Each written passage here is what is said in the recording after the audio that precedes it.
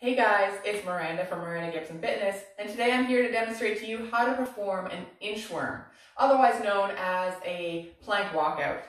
So I'm going to start at the bottom of my mat here, and the first thing I'm going to do is I'm going to hinge at my hips as I come forward, leaning down until I can start to touch the ground. Hips stay high. Now, engage your core as you begin to walk out. Once you are fully extended, Bring your hips down, holding high plank before you begin to walk back. Feel that stretch through the hamstrings and walk back out again.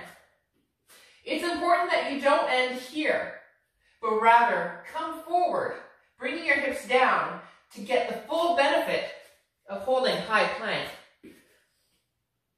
Walk out, High plank. Walk back in. Walk out. Hips down, high plank. Walk back in.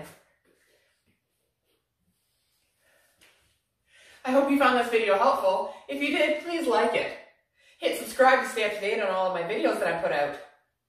Have a great day.